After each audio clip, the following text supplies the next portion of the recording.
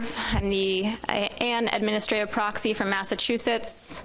Uh, I am joined up front by Max Appelman, the FMP coordinator, as well as Dr. Kristen Anstead and Dr. Katie Drew, uh, who will all be helping us through some of the agenda items today. Our first order of business is the uh, to approve the agenda. Are there any suggested changes to the agenda? Seeing none, the agenda will be considered approved as presented. Up next is the approval of the proceedings from our November 13 and 14, 2017 meeting. They were a whopping 127 pages. Are there any changes, uh, suggested changes to the proceedings? Seeing none, the minutes will be considered approved. Our next item is public comment. This is an opportunity for members of the public to comment on items, Menhaden related items that are not on the agenda. Uh, Max has provided me a sign-in sheet. Um, no one has signed in, but I'll look quickly to the audience to make sure there is nobody that would like to comment on an item not on the agenda. Seeing no hands, we will move on to, um, we have three separate action items, all pertaining to the 2019 benchmark stock assessment and peer review for Menhaden, of which there are two tracks, the benchmark, uh, the single species benchmark assessment, as well as the ecosystem-based benchmark stock assessment. Uh, the process for these assessments is well underway. The data workshops um, occurred last week uh, for, for both assessments. And uh, I'll now turn to Kristen uh, for our first item, which is to review and consider approval of the terms of reference for the 2019 Atlantic Menhaden Single Species Benchmark Stock Assessment and Peer Review. Kristen? Thank you, and good morning. Uh, I'm about to go through the terms of reference for the single species benchmark stock assessment, but first I thought I would just talk briefly about the process that's underway.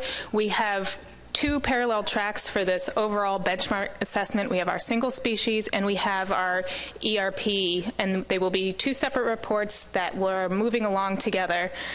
We have several people on that are overlap on both of these committees, and we have, uh, as we've started this process, been conscious of workloads and energy spent for each of these two separate reports.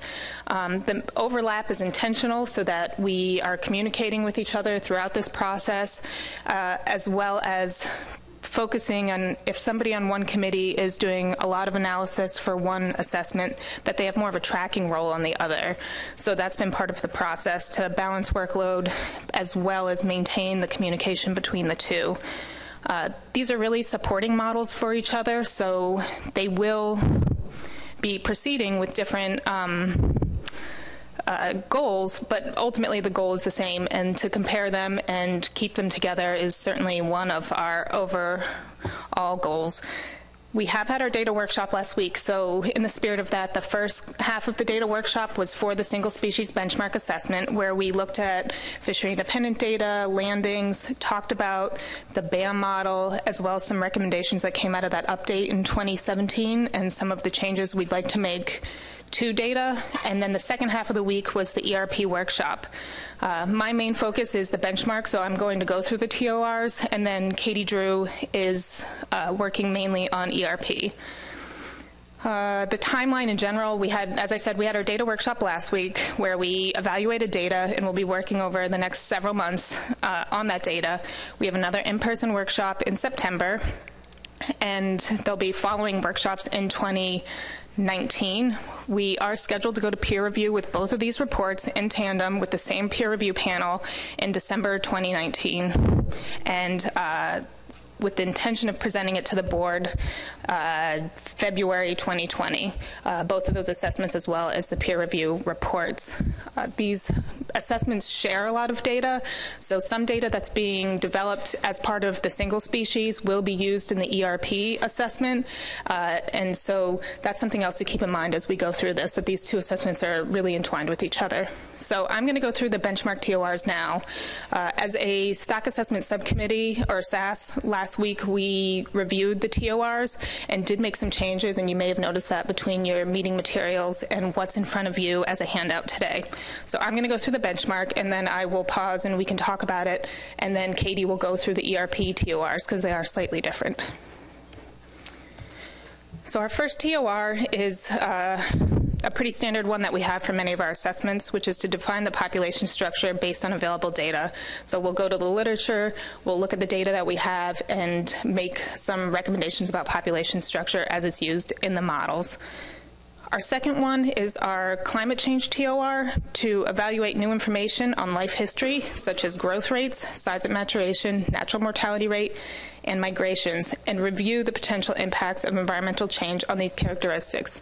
This is a modification coming out of the recommended TORs from the climate change work group that you all heard from, I think, last year. Our third TOR is to characterize the precision and accuracy of fishery dependent and independent data used in the assessment. And then there's uh, following sub bullets, uh, which are to provide descriptions of each data source, describe calculation and potential standardization of abundance indices, discuss trends and associated estimates of uncertainty, justify inclusion or elimination of available data sources, and discuss the effects of data strengths and weaknesses. Our fourth TOR is to develop models used to estimate population parameters and biological reference points and analyze model performance. So, this will be to describe the history of the model usage, uh, its theory and framework, and clearly explain its strengths and weaknesses, and justify our choice of CVs, sample sizes, likelihood weighting schemes to discuss the stability of the model and to perform sensitivity analyses, as well as if there were multiple models considered to justify the choice of a preferred model and explain any difference in the results. And we do have a separate TOR that will specifically task us with comparing the output of our single species with the ERP model, but I'll talk about that when we get to that TOR. So this is more if multiple models were considered within the single species uh, report to talk about why we chose, for example, the BAM over something else. TOR 5, state assumptions made for all models and explain the likely effects of assumption violations on synthesis of input data and model outputs. So this may concern our stock recruitment function, our error in our catch at age or catch at length matrix, our calculation of M, and our choice of what we decide to use for natural mortality, uh, as well as our choice of reference points and a plus group for the age structured species. TOR 6 is to characterize uncertainty of model estimates and biological or empirical reference points. And TOR 7 is to perform retrospective analyses and assess the magnitude and direction of patterns detected and to discuss what those uh, implications may be. TR8 is to recommend stock status as related to reference points uh, and answer kind of in general what is is the stock below the biomass threshold is F above the threshold. TR9 is to compare the trends in population parameters and reference points with current and proposed modeling approaches, including the results of the ERP benchmark stock assessment, and if they differ, to discover possible causes and observe discrepancies. So, this is our TOR that specifically tasks us with discussing if our result is the same or different from the result of the ERP benchmark assessment, and to talk about how the models are different, how they're the same, and how the advice is different or the same. Um, we will be doing this all along the process. Like I said, these use a lot of the same data, they have a lot of the same people, and the timeline is the same. So we will constantly be in contact throughout this process. But we do have this specific TOR that says compare these two report theses to each other and discuss similarities and differences and why they may be that way. TOR 10 is uh, the TOR for a minority report, if we do have one. Uh, TOR 11 is to make a prioritized list of the research recommendations, uh, specifically focusing on future research, data collection, and assessment methods, and to highlight improvements to be made by the next benchmark. That uh, final sentence has been very helpful in some other benchmarks we've had that uh, state which, TOR, uh, which research recommendations should be completed before you start the next benchmark. That really can give uh, the SAS some guidance on timing. And timing is, in fact, our 12th TOR is to recommend when the uh, single species benchmark should be either updated or a new benchmark should be initiated. We then have our reviewer TORs. Uh, so the first TOR for the reviewers is to evaluate the thoroughness of data collection and the presentation and treatment of our data in the assessment. And so they have a list of different items there to consider, but this one's a very general evaluate how well the data was handled. Two is to evaluate the methods and the models used to estimate population parameters and reference points. And they also have some uh, guidance within that TOR for the choice and justification of the preferred model, uh, if multiple models were considered, to evaluate our explanations of the differences, and to talk about uh, model parameterization and specification. The reviewer uh, TOR 3 is to evaluate the diagnostic analyses performed, such as the sensitivity or the retrospective analyses. TOR 4 is to evaluate the methods used to characterize uncertainty and estimated parameters. Five is to evaluate that minority report if it does in fact exist. And six is to recommend best estimates of stock biomass abundance and exploitation from the assessment for use in management or specify alternative estimation methods. TOR 7 for the reviewers, evaluate the choice of reference points and the methods used to recommend them. And 8 is to review the research, data collection, and assessment method recommendations by the TC and to make any additional ones if they're warranted. Nine, they are also tasked with recommending the timing of the next benchmark. Uh, and then 10 is to prepare their report uh, in terms of reference and advisory, summarizing the panel's evaluation of the stock assessment and addressing each peer review term of reference, and to develop a list of tasks to be completed before the next workshop. Uh, and to submit that report within four weeks of the workshop conclusion, which will keep us then on target since we have that December uh, peer review and we uh, intend to present it at the February board meeting. So that's why that's there. So with that, I can take any questions about the TORs. Uh, for the single species benchmark assessment, and then we will review the SAS, and then Katie Drew will go through the ERP. Thank you, Kristen. Are there questions? Uh, begin with David Blazer, please. Thank you. Um, and I'm trying to recall that this all looks very good. I'm not as technical as a lot of people. Um, but I'm thinking back to, uh, you know, the uh, debates that we've had over the last six to, to nine months. Um, and I'm looking at the reference points that we were evaluating during the last uh, amendment as we were going through. Um, so I recall that a lot of those mortality rates, the estimates, kind of fluctuated with each model run that we had, and there was a lot of variability in those numbers that I know for me it can, created some confusion back at that time. Will this stock assessment, you know, will we look at those um, reference points? How are they going to change with each run, um, and how are, is it? How are we going to address that particular issue that we had previously? So the reference points for Amendment 3, are you referencing the ones that were proposed, uh, that kind of suite of different? So for the benchmark assessment, we will be running the BAM and talking about that reference point, so there'll be a bunch of sensitivity around it. Those other ones, I believe, are more ERP specific and yeah, uh, but we will be doing some sensitivity around ours. And you may recall that the reference points were adjusted slightly during the update. And so if that were to happen again, we will, of course, discuss why they could be the same or different from the update or the 2015 benchmark. Up next, I had John Clark. Thank you, Madam Chair. Um, I just had a question about the uh, environmental change, the climate change uh, part. Kristen, I was just wondering if any of that has been worked out, how you're going to look at that. And I noticed in the uh, peer review, I didn't see anything directly in the peer review that would evaluate how you uh, addressed climate change in the in the model.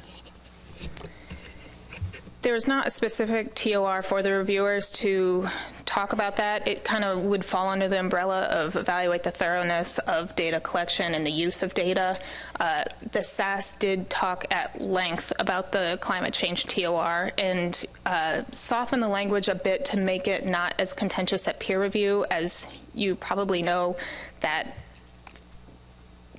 currently there's no mechanism or model to fold in climate change, and we just want to be conscientious of can we accomplish what we've set out to? So the language is softened a little bit to still address it, to do a literature review, fold it in where we can. We use environmental data and standardizing indices. We'll be looking at can we build any sort of habitat model off of that climate. Uh, the environmental data from uh, the fishery independent surveys. Uh, but if it's not feasible, we didn't want to back ourselves into a corner that we couldn't address that TOR, and that would become um, a problem at peer review, but by all means, we intend to assess it and evaluate it and fold it in mathematically where we can. John McMurray. Uh, Thank you. Um, Regarding TOR number eight, recommend stock status is related to reference points if available. For example, is the stock below the biomass threshold? Is F above the threshold? Are we just looking at thresholds, or are we not looking at targets also? We do have targets and thresholds. I, this is our standard TOR 8. I'm not sure why they only say threshold, but of course we will be having both and be talking about stock status in relation to both of those things. That's uh, already part of it. Any other hands for questions? Yes. Thank you, Madam Chair. So building a bit off of Dave Blazer's question, um, it strikes me, well, first of all, I was also reminded about our challenge last time in terms of comparing SPR-based analyses with total biomass-based analyses, and it looks to me that TOR 9 sort of gets at that, and I'm wondering if that's true and that that's really what's the intent of TOR 9 to take different outcomes that are maybe based on different currencies and compare them so that the board has a better ability to compare and contrast. That's certainly the goal. So uh, compare what the reference points mean in relation to each other between the single species and the ERP, what management advice, how these models operated, and why that might be different. So it's uh, not specific only to that, but to all of kind of these two different reports to really talk about how they're the same and different and why. Any further questions? Seeing none, uh, we would look for any changes to terms of reference. Uh, Otherwise, uh, a motion from the board to approve the terms of reference for the 2019 Atlantic Menhaden Single Species Benchmark Stock Assessment and Peer Review would be in order at this time. Uh, Robert Boyles. So moved, Madam Chair. Thank you. Is there a second to the motion? Cheri Patterson? Any discussion on the motion? Seeing none, are you ready to, to vote on the matter? I'll read the uh, motion uh, one more time. Move to approve the terms of reference for the 2019 Atlantic Menhaden Single Species Benchmark Stock Assessment and Peer Review. Uh, those in favor, please raise your right hand.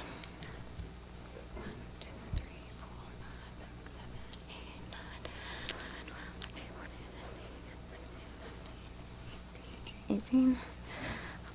Any opposed? Zero. Any null votes? Or absen- abstentions? The motion carries unanimously, 18-000. We will move on next to item five, to review and populate the Atlantic Menhaden Stock Assessment Subcommittee membership. Um, Again, the, the SAS is specific to the single species assessment, so I'll turn back to Kristen for a quick uh, overview of this.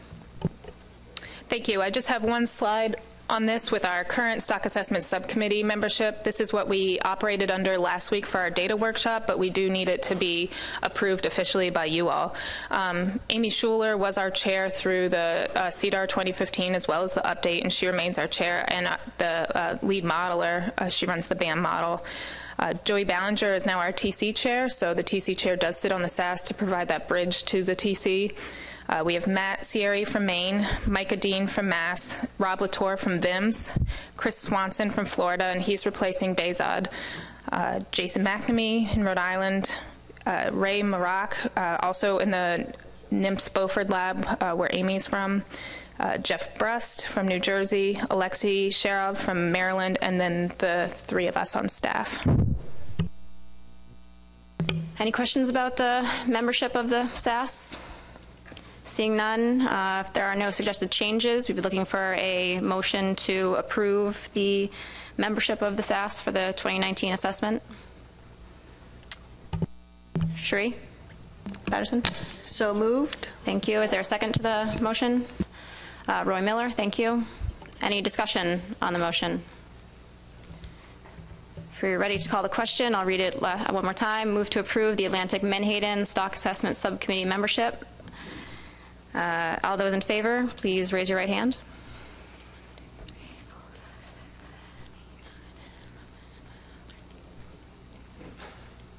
Eighteen. Uh, Any uh, opposition? Null votes? Abstentions? Seeing none, the motion carries. 18,000. Uh, We'll move on to number six, and uh, we'll be looking to review and consider approval of the terms of reference for the 2019 Atlantic Menhaden Ecosystem-Based Benchmark Stock Assessment and Peer Review, and for this, we'll turn to Katie Drew. Thank you, Madam Chair. Uh, So I will be going over the terms of reference for the ERP assessment, which has sort of its own uh, TORs in order to focus on what we want to be reviewed on and evaluated on for this particular assessment. And so there are some differences between um, what we're going to be talking about for the single species and what we're looking at for the ERP assessment. So I'm going to start out with the assessment terms of reference. This is for the ERP work group to accomplish. TOR number one is going to be review and evaluate the fishery dependent and fishery independent data used in the Menhaden single species assessment and justify the inclusion, elimination, or modification of those data sets. So this is our first big difference is we're going to be building on the work that the Menhaden TC does to um, develop, review, and evaluate the Menhaden specific data so that we don't duplicate their efforts. We're going to take the work that they do in pre preparing that Menhaden specific data that we need for our models, um, make sure that it fits and lines up with our models, and basically just justify why we're using or why we're not using their data rather than duplicate their efforts. We will be spending more time on TOR number two, which is to characterize the precision and accuracy of additional fishery dependent and fishery independent data sets, including the diet data um, that were going to be used in the ecological reference point models. And so this is where we're going to get into more of the detailed uh, data work, um, like providing the descriptions of the data sources, describing the calculation and standardization of any indices, um, the trends and the uncertainty, and justifying the inclusion or elimination of these data sources, as well as talking about the specific strengths and weaknesses of these sort of non-Menhaden or non-Menhaden single species data sets. Number three is uh, to develop models used to estimate population parameters such as F, biomass, and abundance of Atlantic menhaden that take into account menhaden's role as a forage fish. So this is kind of the really the specific TOR that gets at what is the ERP doing that's different from the single species assessment. Um, so develop these models as well as analyzing the model performance. And that includes things like making sure that we document the history of the model usage, um, the theory in the framework, um, test it with simulated data if it's a new model. Um, justify the choice of ecological factors, um, such as predator and prey species or environmental factors that will be going into these models. Um, describing the stability of the models, justifying the parameterization of the models as appropriate for each model. That the models that we're looking at for the ERP workgroup range extremely in terms of complexity, in terms of theory and framework, and so we want to make sure that we're doing this appropriately for each model as well as performing sensitivity analyses, model diagnostics, um, and explaining the model's strengths and weaknesses, including each model's capacity to account for environmental changes. Um, Number four, I think, is probably the key term of reference for this entire assessment, which is to develop methods to determine reference points and total allowable catch for Atlantic menhaden that account for Atlantic menhaden's role as a forage fish. So I think this is what the ERP workgroup sees as sort of the core um, purpose of this assessment. And so this gets its own specific TOR. And I think the key here is that we are developing the methods to create these reference points and create these quotas, but it'll be up to the board to finally to settle on the final value after evaluating the trade-offs between these different models and between the different assumptions um, in these models. Uh, number five is state assumptions made for all population and reference point models um, and explain the effects of assumption violations on input data and model output. So this is kind of making sure that as we talk about these models, we can explain um, what we have to assume, what we know through data, and how that's going to affect our final perception of stock status and of appropriate reference points. And that's really tied to number six, which is characterize the uncertainty of these model estimates and these reference points um, as appropriate for each model model so that we can tell you kind of how certain we are about these reference points and about the information coming out of these models. Uh, number seven is evaluate stock status for Atlantic Menhaden from the recommended models as related to the reference points if available. Um, so again, this is kind of um, recognizing that we're going to be presenting sort of a suite of models that have different strengths and weaknesses and that give the board um, different information related to their management objectives of Menhaden. Um, and so it'll be up to the board to make the final choice about reference points, uh, but we'll provide the stock status relative to each of those reference points so the board can kind of understand what each model is telling you. And number eight is similar to what was in the single species method, that is to compare the trends in population parameters and reference points among the proposed modeling approaches, including the results of the single species benchmark assessment. Um, and so if the outcomes differ, then discuss the potential causes of observed discrepancies. So again, this is the mirror term of reference for the si single species model where we'll be comparing the output of our models not just to the multi-species models, not just to the ERP models, but also to the single species model to really put these numbers in context of both the single species and the multi-species framework. And then 9, 10, and 11 are, these are almost identical to the single species. Basically, if a minority report has been filed, um, deal with that. So explain the majority reasoning um, and make sure that that's all explained develop the short and long-term prioritized lists and recommendations for future research and highlight improvements to be made by the next benchmark review, recommend the timing of the next benchmark assessment and intermediate updates if necessary relative to the biology and current management of the species. And for the ERP group, this will also include taking into account the timeline of benchmarks and updates for our predator and alternative prey species, as well as what the Menhaden board specifically needs in terms of management. So that's it for the uh, ERP assessment terms of reference. This is what the work group will be working off of. Um, I will next go briefly over the review panel terms of reference. Um, so basically, the main difference is that instead of doing the work, they have to evaluate our work. So they will have to evaluate the justification that we use to include or not include or modify any of the single species data. Uh, they will evaluate the thoroughness of our data collection and treatment um, for additional fishery dependent and independent data um, that is not part of the Menhaden single species assessment.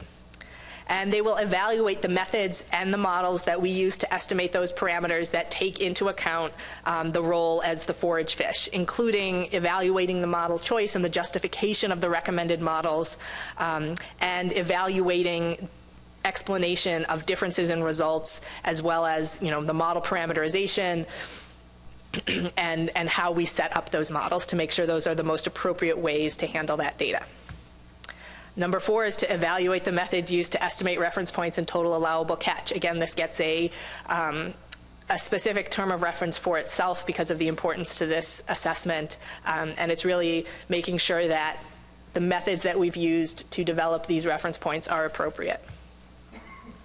Uh, they will also evaluate our diagnostic analyses, so the sensitivity analyses, the retrospective analyses as appropriate for each of the models that we are working with in the ERP group, and evaluate the methods that we use to characterize the uncertainty in our estimates and make sure that those implications of that uncertainty is clearly stated, that we're upfront and honest about the uncertainty in these assessments. Number seven is basically if a minority report has been filed, then make sure you review it and give us your opinion on this minority report.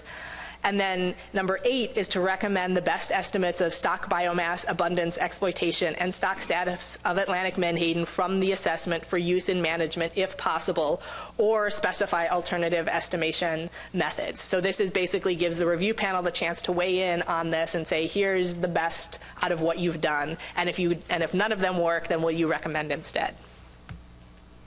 Um, so then number nine is to review the assessment methodology, um, the research uh, sorry, the research recommendations for data collection and, and assessment methodology, um, and make additional recommendations as warranted, and prioritize what is needed to inform the next benchmark assessment as well as to recommend the timing of the next benchmark assessment and updates if necessary.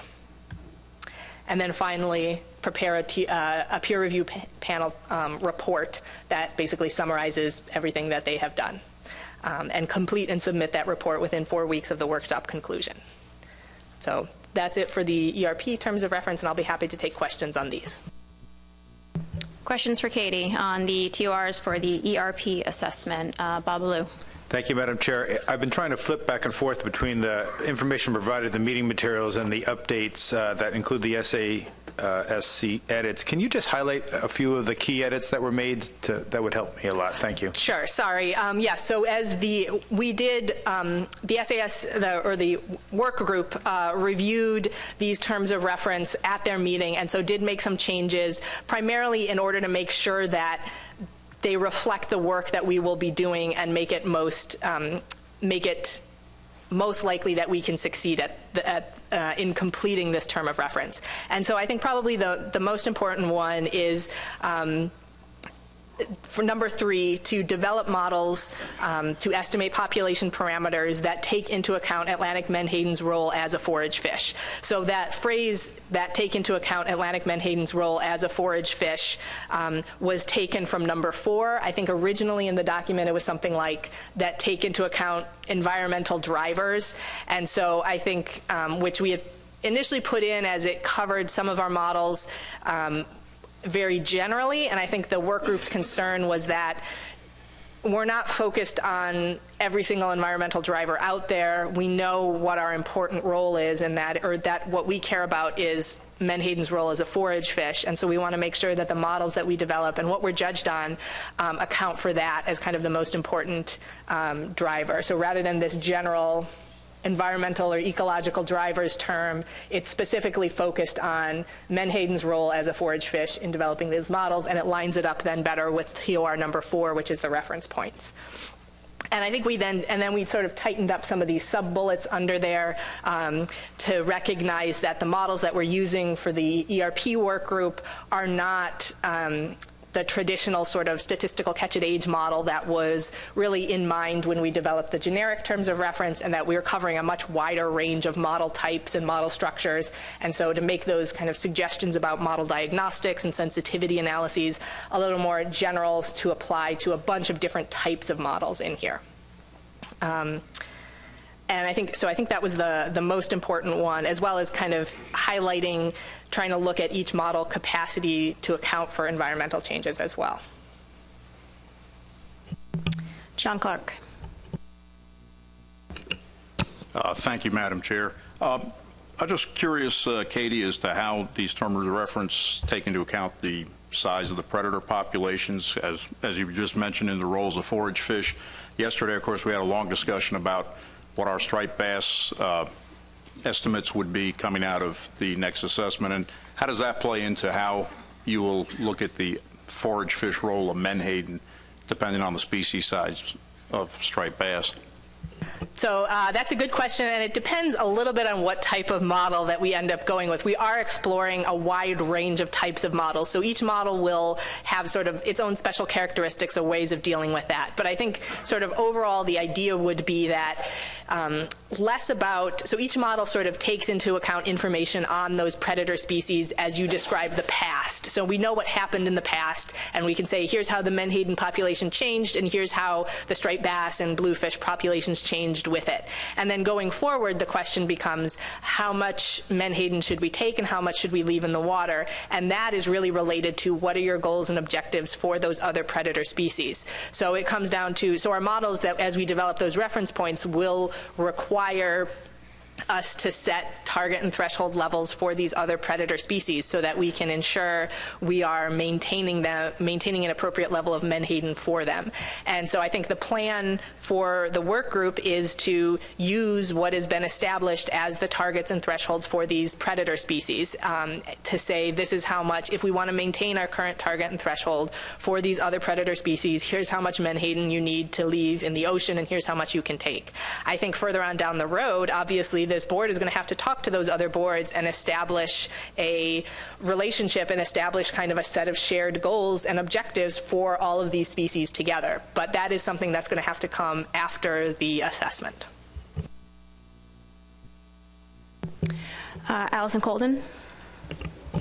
Thank you, Madam Chair, um, and thank you for the presentation. I think these terms of reference are, are very thorough. Um, I just wanted to build on Bob's comments a little bit, and fortunately, this term of reference is repeated in this one, so I got another bite at the apple. Um, but I also re acutely recall some of the issues that we had at the November meeting when discussing the ERP models versus the single species models, and some of the issues and um, confusion that there were around the, the, differing reference points between the two different approaches. And so um, I really appreciate that that is explicitly included in here as a term of reference to examine those differences. Um, I just want to reiterate again that if there are places where there are natural analogs between the single species and the multi-species models, that those are um, addressed and, and, explicit, and then where there are places where there are not direct or natural comparisons between either the model outputs or the reference points between those two different approaches, that there's sufficient narrative and explanation so that um, at least uh, the board can put it in the context of the, the concepts from the single species approach that we're familiar with. Um, I think that'll be really crucial moving forward because, again, uh, if we're to adopt these ERPs, it's an entirely new, different management approach and management strategy. So um, I think that there may be some challenges ahead, and we got some sneak peeks of that last November. Um, but I'd really appreciate all the work that you guys could do and as much work as you could put into um, making those connections wherever possible and then thoroughly explaining the differences where they're not possible. Thanks. Yeah, that is absolutely the intent, I think, of the work group is, is making sure that these are sort of presenting a coherent story across both the single species and the ERP um, work group so that you guys can kind of understand these reference points in context with each other and with the historical management of this species. Roy Miller? Thank you, Madam Chair. Uh, Katie, could you refresh our memories as a follow-up to John Clark's question on which suite of predators we're talking about? Um, so we are we're still sort of in the process of finalizing our which ones will actually go into the model, but we are looking at um, striped bass, spiny dogfish, bluefish, and weakfish as sort of the the most important predators, um, and we're also considering Atlantic herring as sort of a alternate prey species within this model to kind of understand the trade-offs between those uh, species. John McMurray. Uh, Thank you, Madam, excuse me, thank you, Madam Chair. Um, So regarding reference point number four, develop methods to determine reference points and total allowable catch for Atlantic menhaden that account for Atlantic menhaden's role as forage. I think what's missing from that is an explanation of how we intend to use those. Um, And my understanding is they will provide us context, they'll give us a better understanding of what the trade-offs are, but that's not really implicit in any of this. Um, I just think maybe it should be made clear somewhere.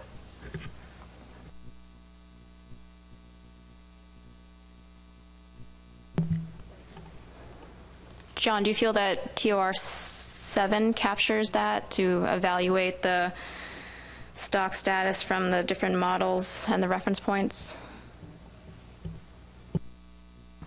Uh, Thank you. Yeah, I mean, to some extent, but I think to the public and to the average Joe, it's, it's not, it's not terribly clear. I- And maybe it's enough to just put it on the record now, um, that that's the intent. And, and uh, that is the intent, if I'm understanding it correctly, to have, to have the information uh, to understand what the trade-offs are between taking fish out of the water and leaving them in. And then it's really, it's a policy, becomes a policy decision by the board after that. Right. I mean, I would say, sort of semi-jokingly, that would be your term of reference is to evaluate these trade-offs and things, and that kind of, I think, where we would provide the information would be, as as our chair said, number seven, that is providing not just a single estimate of stock status, but a range of estimates of stock status and a range of estimates of um, catch and reference points, but also number eight, to compare the trends in these um, population points, compare the reference points among the proposed um, modeling approaches, and explain why they're different, which would include things like um, there's different trade-offs and different um, assumptions that are underlying it. Um, I think if you guys wanted to edit this at all to make it more clear, we, but you could, but I think we recognize that that is the outcome of this. And we did, I think, soften some of the language in here that it's no longer talking about a preferred model, but it's talking about a recommended suite of models, recognizing that there's going to be differences for you to choose among depending on your management objectives for this species. Are you comfortable with the language, John, with the discussion we've had? Uh, Thank you, Madam Chair. Yeah, I am, and I I think there's enough on the record, too, to to make it very clear. Thank you. Thank you. Are there further questions? Um, Doug Brady. Um, Thank you, Madam Chairman, and thank you for this uh, good presentation. Uh, Back to, I- I'm just assuming that um, you- you've identified some of the predator species, and then somewhere in here, I guess you'll evaluate, you mentioned, uh, I think, the herring, but you'll evaluate, I guess, the uh, the amount or the percentage of menhaden in the diet of these particular species and other uh, void species or, or diet uh, species that they they uh, consume. So, I mean, how do you get all that information? And and how, and what? assu- I mean, I know you're working on it, but uh, do you take into account all the other uh, things that these fish eat?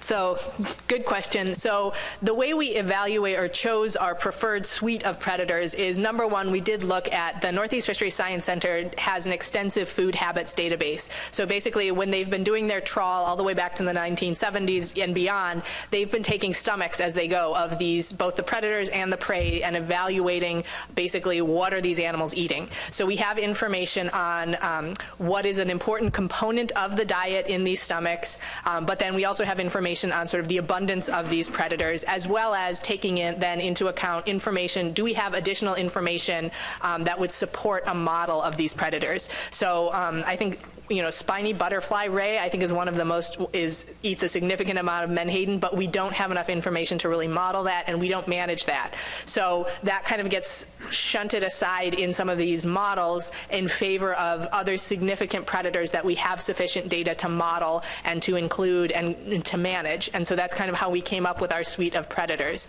And we're also looking at um, alternate prey species um, such as herring. I think we're also uh, looking at, at scup as another potential um, to kind of evaluate the ability to prey switch and the ability to kind of to trade off between these prey species.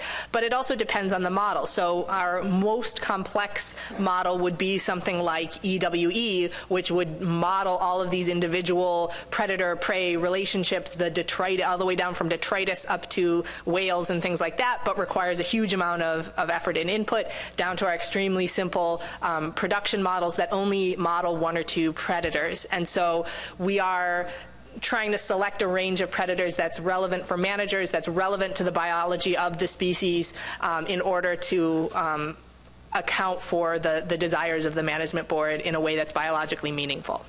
I hope that helps. Emerson Hasbrouck. Uh, Thank you, Madam Chair. Um, I'm just wondering, are there going to be two separate um, peer review panels, one for each approach, or it's the the same people are going to peer review both? Thank you. The intention is that the same panel will review both of these mm, um, assessments so that they have both of them in front of them to compare. And it will be through a, a SEDAR peer review, is that correct, Katie? Uh, yes, that's what I've been told. So it will be a panel comprised of CIE experts. Thank you. Next, I had Colleen Giannini. Thank you, Madam Chair. Katie, I think you kind of touched on it, and I think maybe I just didn't completely understand. Um, I'm thinking about the larger marine mammals that prey on these fish, whales, seals. Is that incorporated? Some, I mean, is that a more data-rich source, or is it incorporated in a different way? So uh, it depends on the model that we're talking about. So we are going forward with several different models for the ERP work group. Um, the EWE models, the EcoPath with EcoSim models, do have the ability to incorporate that into their um, into their extremely large and complex models. The sort of intermediate level of complexity models that we're talking about.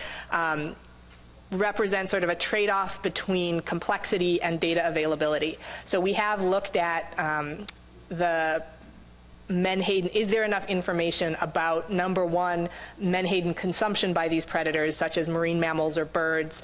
Um, and number two, is there enough information on their um, on their population size and their population dynamics to be folded into a model explicitly?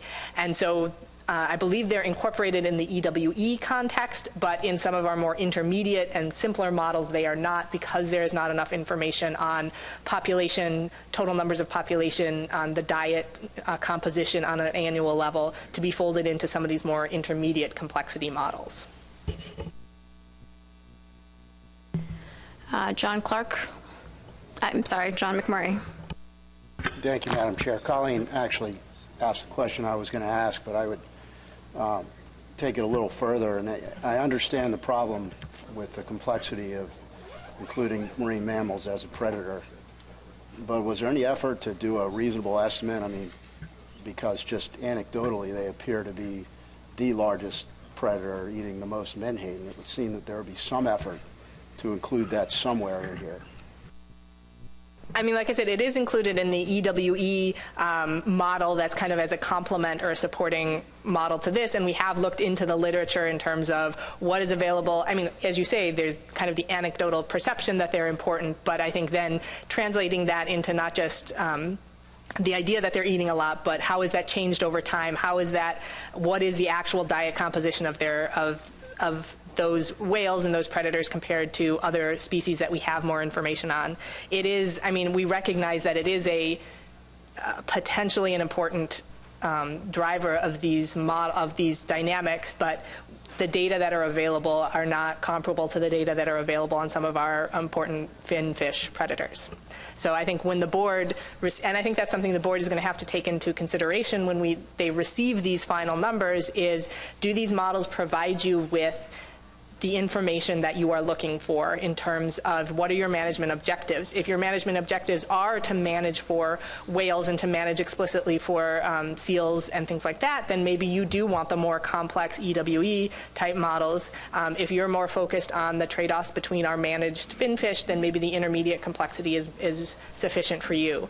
Um, but I think that the assessment will definitely lay out those kinds of trade-offs and those relationships. And hopefully we would come to very similar answers, but that is part of where TOR 8 comes in, which is there's trade-offs in all of these models um, from both a, a modeling perspective and then from a management perspective. Feels like we're winding down here a little bit on questions, but I did see one more hand from David Blazer. And after that, um, look to the public to see if there are any burning questions about this. I know there's a lot of public interest uh, on this stock assessment. So, David, go ahead, please. Yeah, thank you, Madam Chair. And Katie, very complex, and you've got a lot, and your team have a lot to address. Let me just ask one more question. If there's any ability to uh, look at some of the issues that we've dealt with in the last six to nine months in a spatial capacity, you know, our folks in the in the Bay are concerned about the interaction between stripers and, and menhaden. Uh, so I just ask, will, will that anything here help us with those questions? Not, not really. I think that adding the spatial component is um, I, is something we are interested in. We recognize is important, but that's going to be for the next benchmark.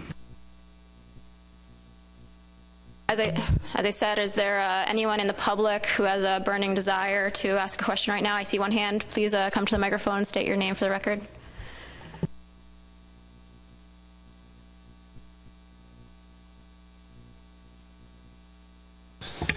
Thank you, Madam Chair. Patrick Paquette, um, member of the AP. Um, recreational angler from Massachusetts. Um, just a question. There is a suite of species that hasn't been mentioned that I didn't read that I just wanted to check on.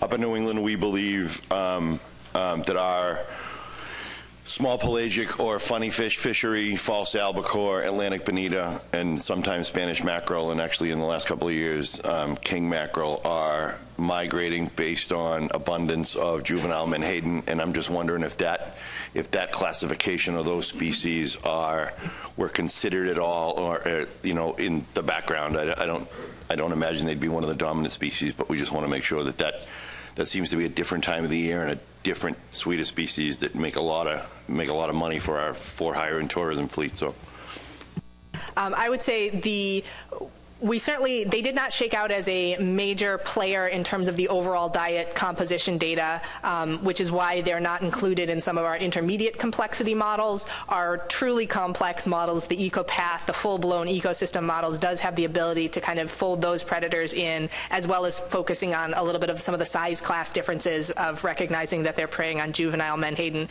So there may be the ability to kind of compare some of the output of these models um, from a more of the more moderate complexity to the truly complex models that do take into account those additional predator species.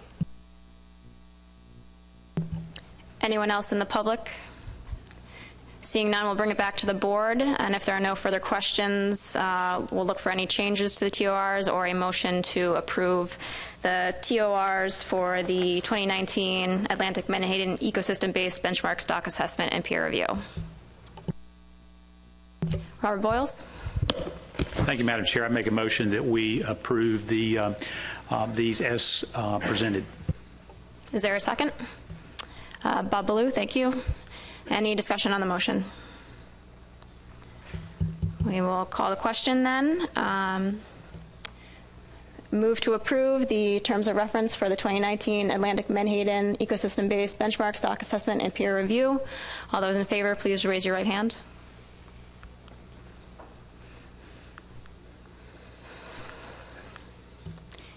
Eighteen. Uh, all those opposed, please like sign. Any null votes? Abstentions? Motion carries 18-000.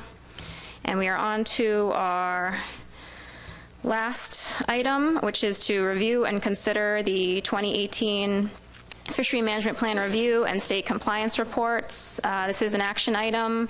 Uh, The FMP review also looks at state compliance with the, or state implementation of the Amendment 3 requirements for 2018. Um, And Max will start us off with a presentation.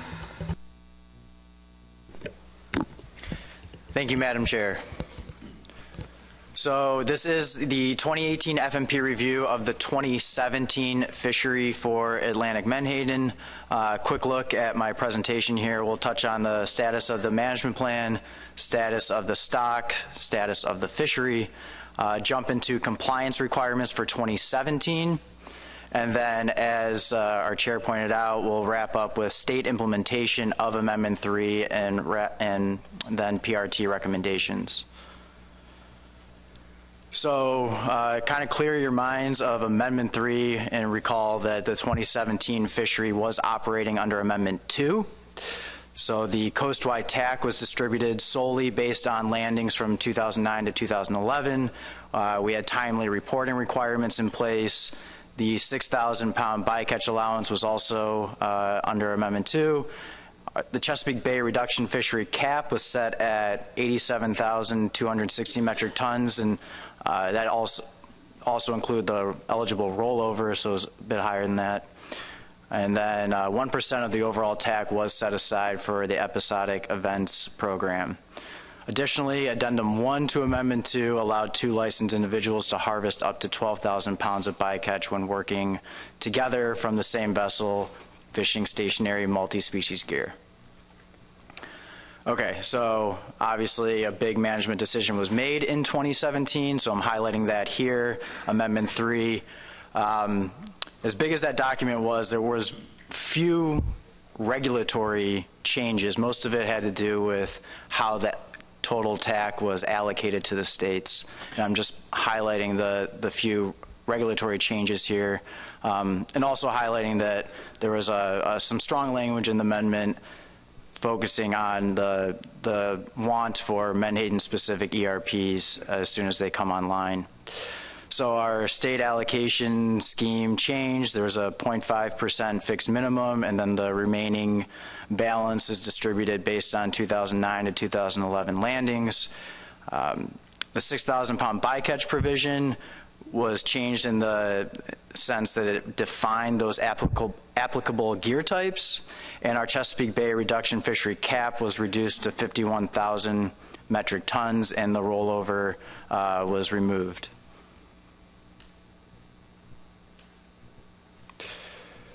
So this is status of the stock. Recall we had a update last year and our reference points changed slightly with the addition of new years of data. Uh, those new reference point values and definitions are up in the, the table in the upper left-hand side. Our stock status did not change, We're still not overfished. Overfishing is not occurring. Our stock status figures there on the right should look familiar. And of course, again, two benchmark assessments underway, scheduled for review at the end of 2019. Taking a look at the status of the fishery in 2017, our overall TAC was 200,000 metric tons, which is roughly 440.9 million pounds. Our directed harvest, so this is excluding bycatch landings, um, but is including our episodic events set aside landings. That equated to about 378.12 million pounds, which represents 14% underage of the TAC and is 4.7% decrease from our 2016 estimate. Bycatch harvest was estimated at 2.73 million pounds, which is a slight increase from 2016 bycatch landings. And remember that this does not count towards the TAC. Um, another small statistic that it's about on par with what we've seen uh, relative to the whole time series. So no uh, red flags there. I'll get into more about the bycatch later in my presentation. So we combine those two numbers and we have a total harvest of 380.85 million pounds, which is an a 4.6% decrease relative to 2016. Zooming in a little bit on the bait fishery, harvest was estimated at 96.62 million pounds. This is a 1.8% increase from 2016, but still below the previous five-year average. New Jersey, Virginia, Maine, Massachusetts, and Maryland landed the largest shares. Looking at the reduction harvest, we have an estimate of 284.2 million pounds. This is a 6.2% decrease from 2016 and 8% below the previous five-year average. Looking at reduction harvest from the Chesapeake Bay, uh, again, the cap was 87,216 metric tons plus the rollover and harvest in 2017 was about 20,000 metric tons, which is below that cap. So this is a figure that everyone should be pretty familiar with, um, showing the uh, trajectories of the different sectors. The two, we have two different axes here. So our reduction landings are on the left axis, and in the blue dotted line, um, and it's an order of magnitude larger than our bait landings, which are on the right and in the red. Uh, so again, the take home here is that the reduction fishery harvest uh, continues on that downward trend, and our bait fishery harvest continues on that upward trend.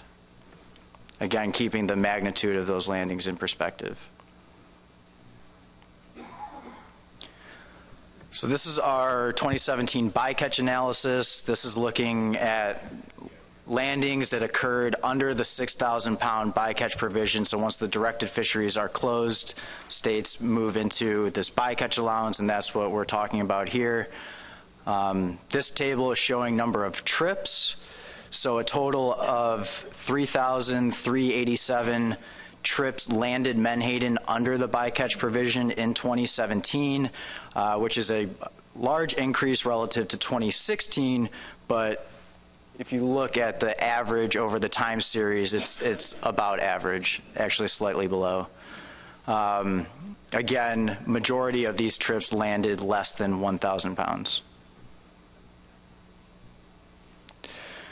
So this is a uh, fairly detailed table. It might be difficult to see up on the screen, but I urge you to look at it in the report. It was in your briefing materials. This is showing average bycatch landings by state and gear type over the 2013 to 2017 period. The predominant gear types here are pound nets and anchored staked gill nets. Maryland, Virginia, PRFC, and New York landed the largest shares of the bycatch. Um, again, no red flags in this table. Uh, the addition of 2017 data, the, the percentages by gear type and by state were about the same. So moving on to the episodic events set aside. Um, this table is showing those landings by year. Uh, and you can see from the table uh, and that third column, the landings column, that the landings have increased each year since 2013. And an average, I'm sorry, an overage did occur in 2017. So we had three participating states, Maine, Rhode Island, and New York.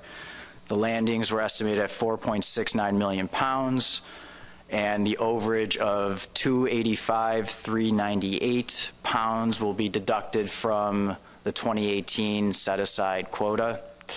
Um, the review team did have some discussions about this continued rise in set aside landings, but with the new Amendment 3 quotas in place this year, it's kind of hard to anticipate how landings will shake out under this program uh, moving forward, so no recommended management changes at this time.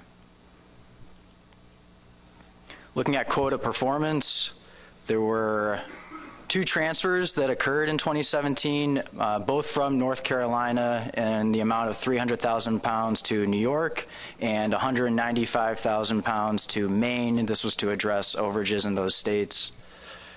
So the final 2017 quotas are listed in that third column. And then uh, we had a couple overages in 2017. So Massachusetts, Rhode Island, and Delaware had some overages which will be deducted from their 2018 quota on a pound for pound basis. And our updated 2018 quotas are on that last column. Um, this does reflect a TAC of 216,000 metric tons, the new Amendment 3 allocations, also redistributed relinquished quotas from Delaware, Georgia, and South Carolina.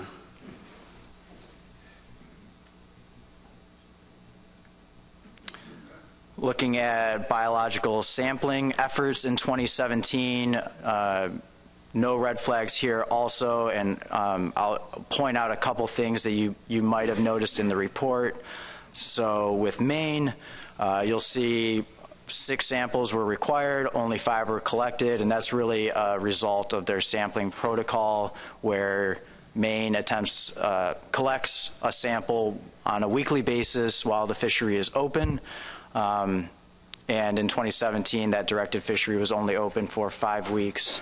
Therefore, they didn't have an opportunity to collect that sixth sample, and the PRT saw, you know, a good faith effort was made to collect those and no issues there. Um, somewhat similar situation with Connecticut. There, were, there was a requirement based on their landings totals to collect a sample, a 10 fish sample. Unable to do that from their directed fishery. Um, again, I think this is based on the nature of that fishery. It's small volume. Uh, it operates under that 6,000 pound provision year round. And uh, it can be difficult to intercept some of those landings events. So, what Connecticut has been doing and has continued to do is collect biological data from fishery independent sources. The PRT and the technical committee, I believe, weighed in on this previously and determined that that was sufficient to meet this requirement.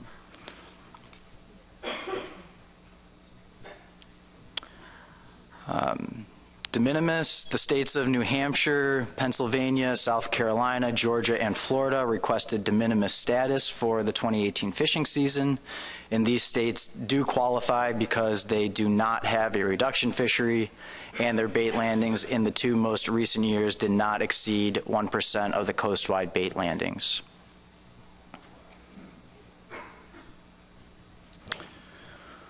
So, uh, with each annual FMP review, we, of course, review the previous fishing season, but we also highlight regulatory changes for the current fishing year, and so that makes a great placeholder for the implementation of Amendment 3.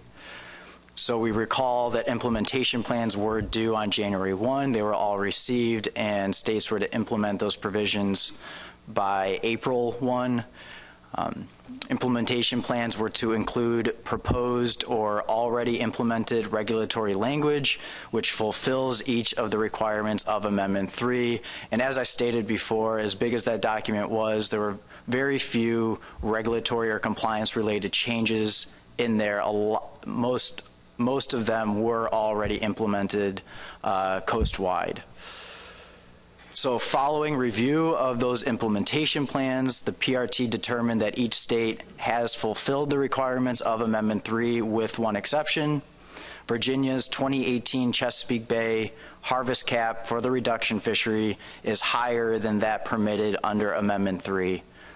And one other notable comment from the PRT's review, Pennsylvania, South Carolina, and Georgia uh, don't have any directed fisheries at this time, and so those states have indicated that if a fishery were to develop, they would resubmit implementation plans and demonstrate compliance with the amendment at that time. So regarding PRT recommendations, again, being uh, 2018 being the first year under the new Amendment 3 provisions and new quota allocations, um, it's kind of hard to see how things will fall out with the bycatch provision and with the episodic set aside. But um, with the, so with all that, there's no recommended management changes at this time. The PRT does recommend approving de minimis status for New Hampshire, Pennsylvania, South Carolina, Georgia, and Florida. And we will need a motion from the board that considers approving the FMP review and state compliance in 2017. Thank you, Madam Chair. Thank you, Max. Uh, this is an action item, but let's begin with any questions. Uh, Ritchie White. Thank you, Madam Chair. Uh, Max, are there in the length sampling, age sampling uh, from the Commonwealth of Virginia, is there any uh, being taken in Chesapeake Bay uh, and the coast to see if there's any difference in what's being harvested between the bay and the coast?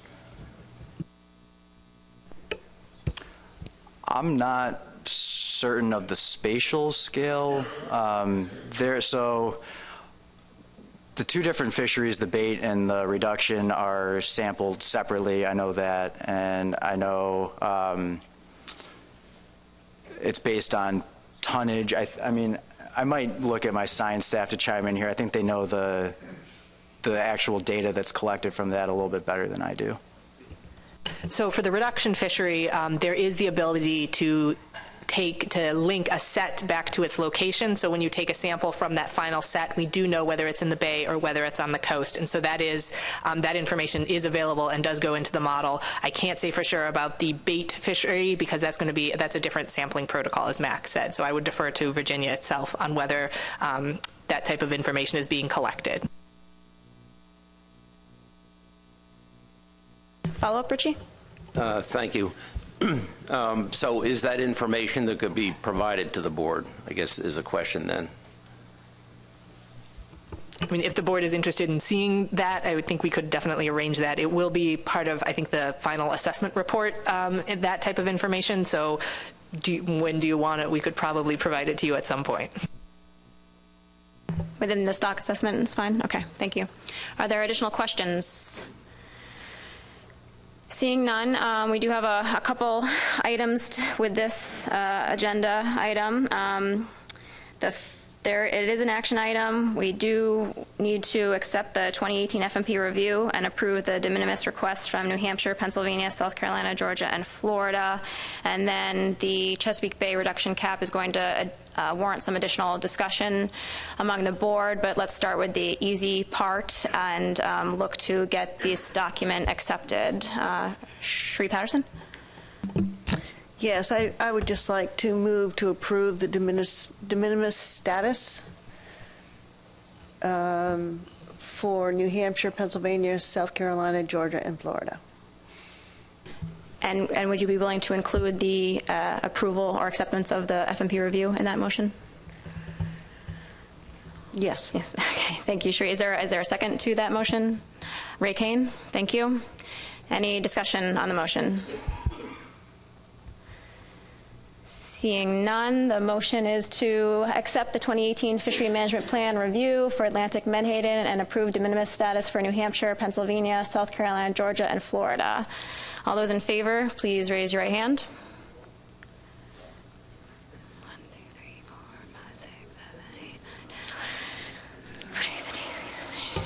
18. Uh, uh, any opposition, please raise your hand.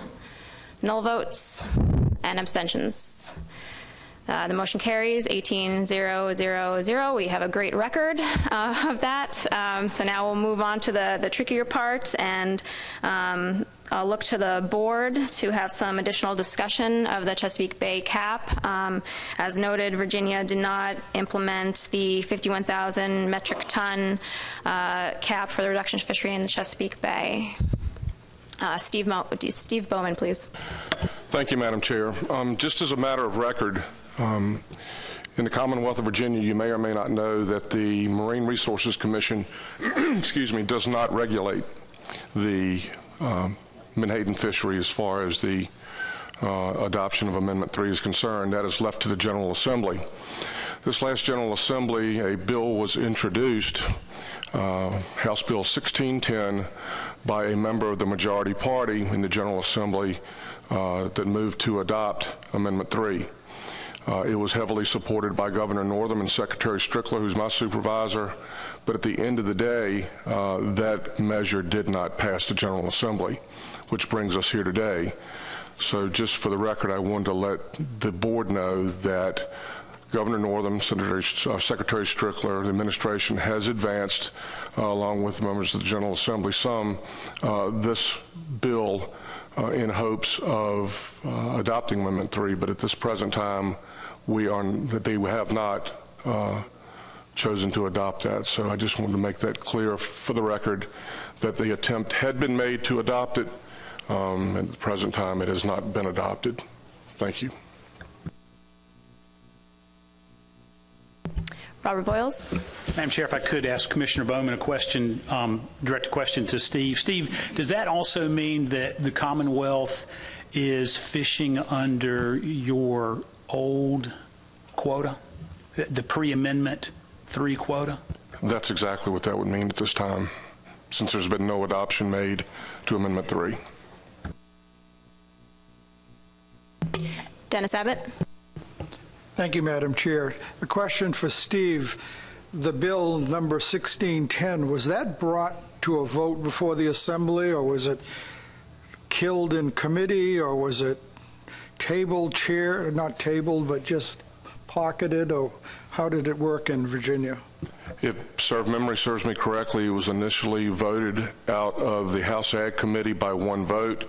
It was re-referred to the House Ag Committee uh, and then I don't believe there was another vote made on it. So I guess if you can use the term, uh, I don't want to use the term pocketed because that's a privilege utilized by the members of the General Assembly, but that's the trail that it took, and that's where it is now. Thank you. Roy Miller. Pass. Bob Ballou. Again, if I could, through you, Madam Chair, just to uh, the Virginia Commissioner. So, what are the prospects for uh, having the Virginia Legislature uh, circle back to this issue um, in a timely fashion? Thank you. Well, I think the prospects are up to the dialogue that is conducted. Um, Furthermore, the Virginia General Assembly is still technically in session because in Virginia, by virtue of the Constitution, we have to pass a balanced budget, and that needs to be done uh, by July. Uh, so, this, to answer your question, the General Assembly is subject to recall to consider any uh, motion or any uh, bill that would be provided to them for consideration. Malcolm Rhodes. Um, again, uh, just a question. What is the pre-amendment three cap that the state is uh, operating on currently? It's around 87,000 metric tons, yes, sir.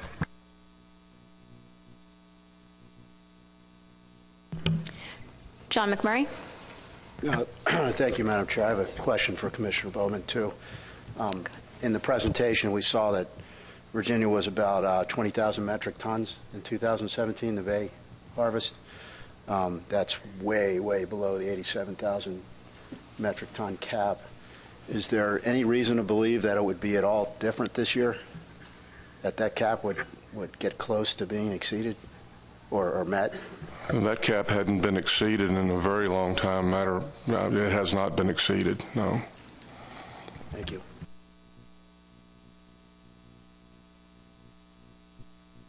Chris Batsavage. Th- Thank you, Madam Chair. Um, We're concerned about not the, uh, the new cap not being implemented uh, in time and looking at uh, this, you know, through how we've, uh, how we look at compliance with other, uh, other FMPs and how we've had to, you know, make sure that, uh, that our, for instance, our Marine Fisheries Commission stayed in compliance with you know, the COBIA implementation plans that were just recently passed. Uh, and yeah, I appreciate uh, you know Vir- Virginia's efforts to uh, you know try to move this forward as best they can. And I know there's a lot of it just it just didn't happen. However, uh, I have a motion uh, that we uh, find the Commonwealth of Virginia out of compliance with Amendment 3 to the Menhaden FMP.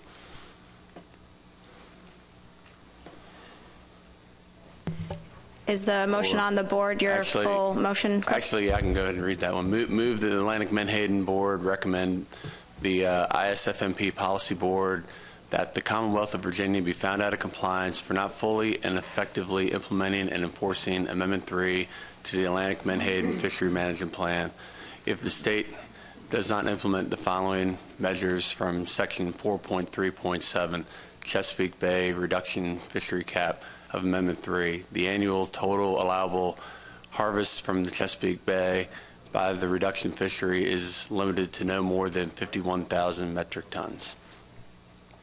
Is there a second to the motion? Jim Estes. Uh, Discussion on the motion, please.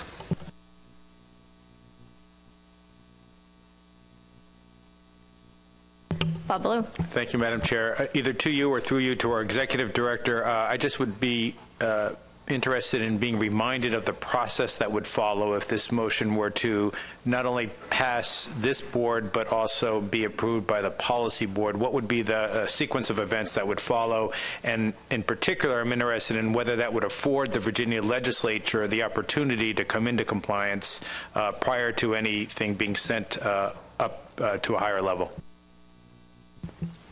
Bob, go ahead, please.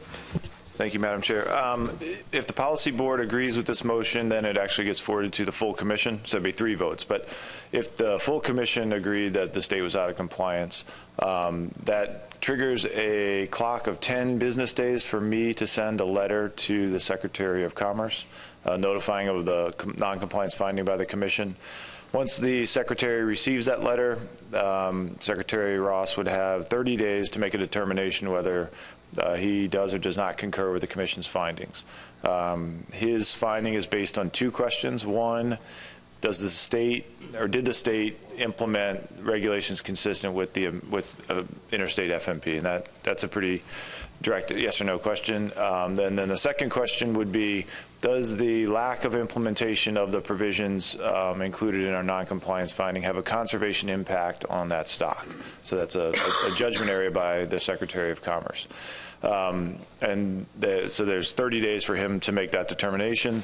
If um, the secretary does agree the state's out of com- compliance, the secretary has 60 days, or I'm sorry, six months to implement a moratorium. So um, the you know, you've got 30 day period while, while the decision is made, and then six month discretionary window on when a moratorium could start. So you know, does that allow Virginia to come back into compliance? I think is your second part of that. It, you know, it, it, there is there is a series of timed steps there that have to happen, um, but you know, I'm not sure if that would or would not uh, provide sufficient time for Virginia to come back into compliance.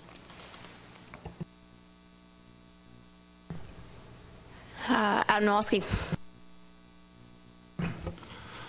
Keeping in mind a recent finding by the Secretary of Commerce does the commission feel that it can make a compelling argument to the Secretary of Commerce that this regulation is needed for the conservation of the resource?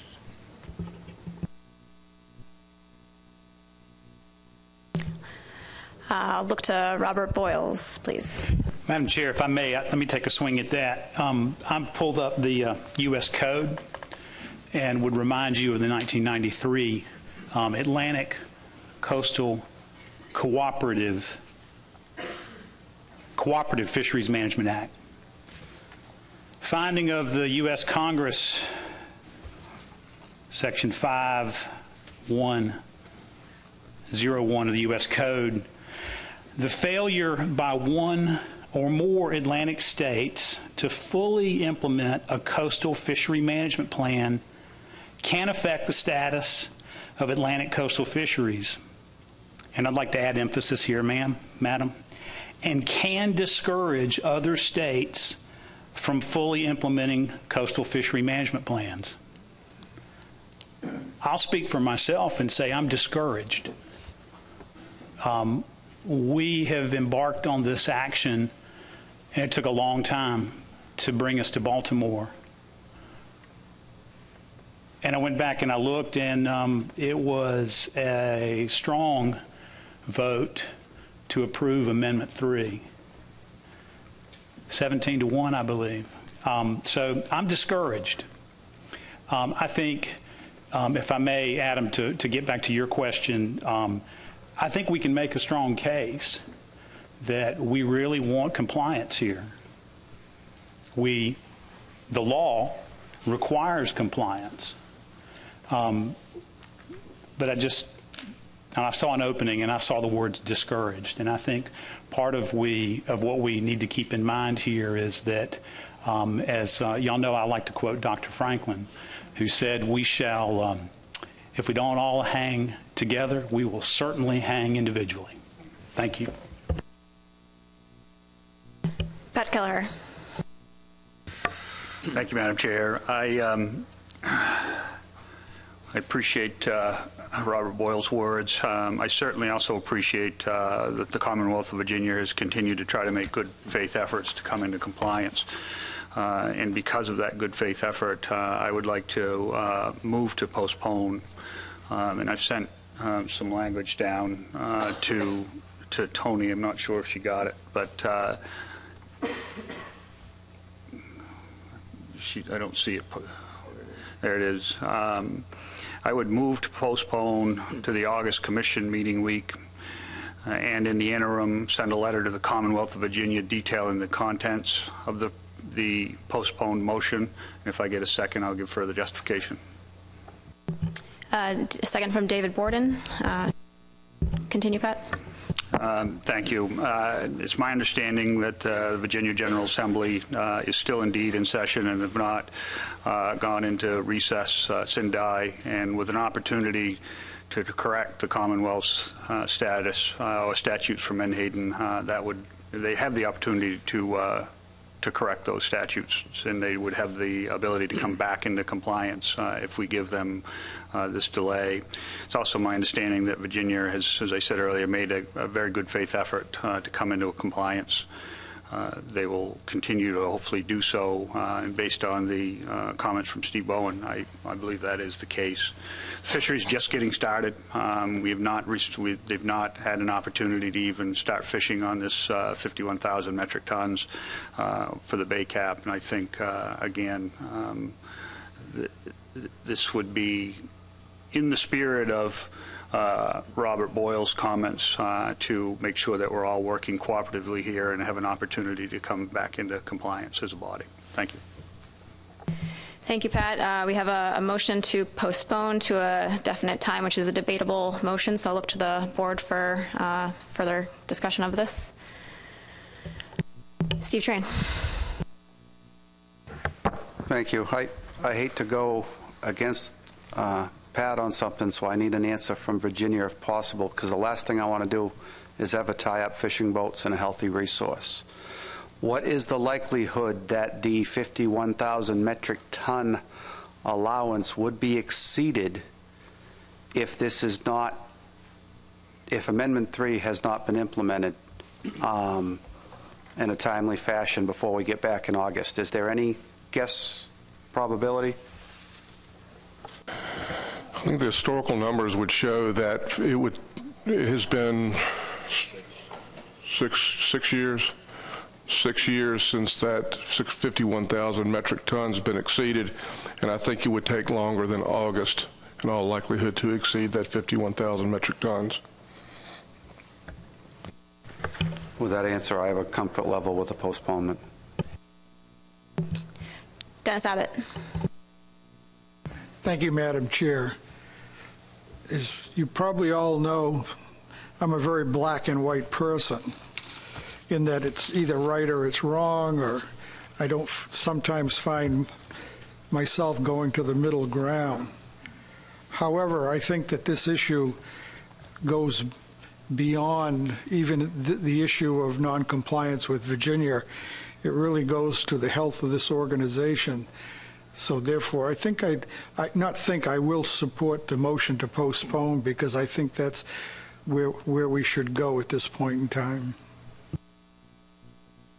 Jim Gilmore.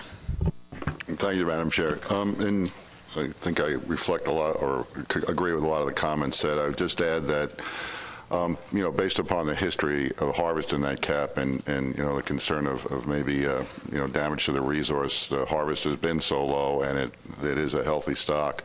And on top of that, I think, um, you know, I, I share Robert's comments about, you know, we are concerned. This is something that is serious and it's what we're here for.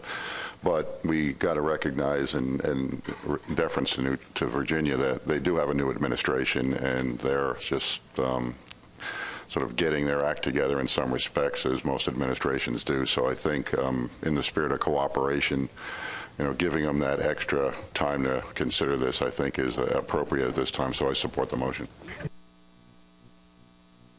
Chris Batsavage. Thank you, Madam Chair. Yeah, there's certainly some unique circumstances with this particular uh, compliance issue, especially where Virginia's General Assembly manages the Menhaden fishery as opposed to the state agency. Um, I guess the question I have is uh, if, if, we, if this motion passes, are we setting precedent for other uh, instances where states uh, don't implement uh, compliance measures uh, by, by a certain date. I know there's been, there's sometimes we have to give states a little extra time if they give us uh, advance notice, but are, are we setting a precedent here like you know, for say our recreational fisheries that we often uh, have to uh, implement measures on an annual ba basis. Thanks. Uh, I too remember a number of times that we've given some leeway to states to implement measures when they have difficulties with legislature or other timing of regulations. Um, and I don't know if see staff nodding their head to some degree. Um, so I don't know. I don't believe this would be a precedent-setting action. I see Toni Kerns nodding her head. Um, I saw Ritchie White. Now. Thank you, Madam Chair. Um, I, I, as well will support this motion. Um, I think it also um, allows Omega Protein uh, to c- show good faith uh, with this commission uh, and not actively pursue catching the bay cap. So I think it, it gives them a chance to show they want to work with the commission to allow proper regulations to come into effect. Thank you. Tom Fote? being recipient over the years of when we used to do striped bass by legislation instead of um, as we can do it now. There was many times, one time because the state house flooded and we couldn't get in for a vote. We had to have a special meeting about Senate to actually get a striped bass. So I understand the problem, and the, the um, commission has always been sympathetic to those situations. So I guess I have to be understanding for Virginia too. David Borden. Thank you, Madam Chair. I, I totally agree with many of the provisions that and points that Robert made on this issue, but I seconded this.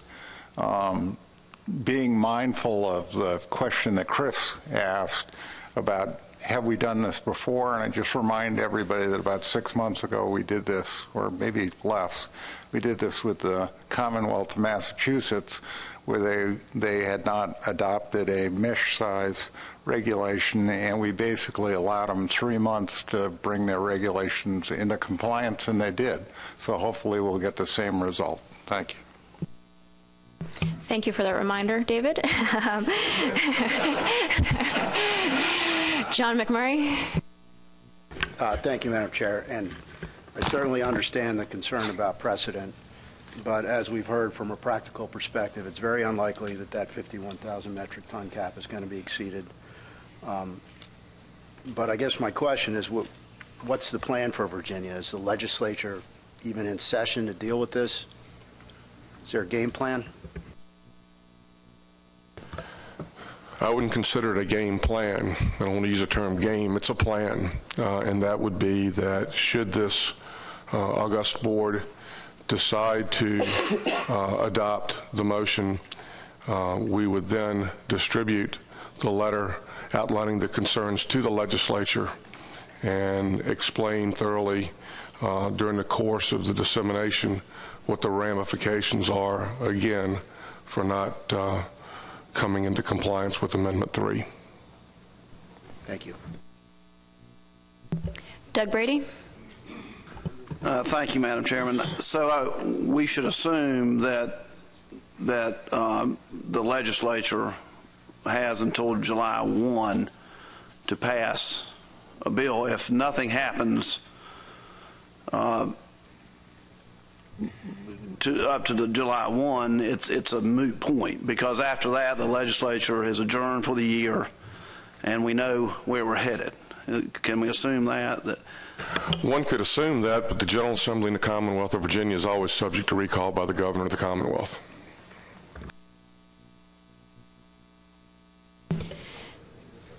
Any additional comments from the board? Uh, Is there anyone in the public who would like to address the motion to postpone? Seeing none, are we ready to call the question? Is there a need to caucus? Seems pretty quiet, so we'll go ahead. Um, The motion is to postpone to the August Commission meeting week, and in the interim, send a letter to the Commonwealth of Virginia detailing the contents of the postponed motion. All those in favor, please raise your right hand.